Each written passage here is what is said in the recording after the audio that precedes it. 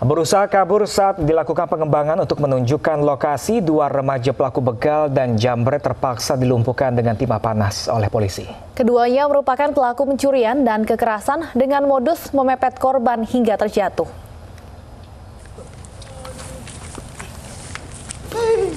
Irwan alias Bregel, 20 tahun, warga Jalan Pelita, Lambengi, Kecamatan Bontoala, Kabupaten Goa, Sulawesi Selatan, dan Agung, 25 tahun, warga Jalan Kompleks Kodam 2, Kecamatan Manggala, Makassar, terluka usai dihadiahi timah panas di kakinya oleh polisi.